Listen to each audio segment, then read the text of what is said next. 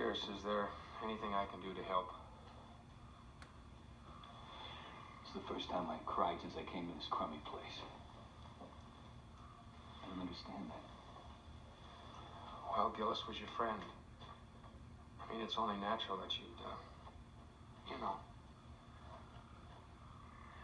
Henry, I know why I'm crying now. Tommy was my friend and I watched him die and now I'm crying.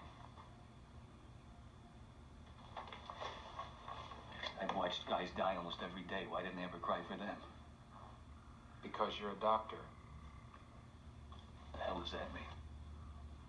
I don't know. If I had the answer, I'd be at the Mayo Clinic. Does this place look like the Mayo Clinic? Look, all I know is what they taught me at command school.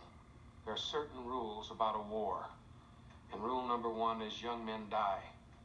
And rule number two is doctors can't change rule number one. You believe that?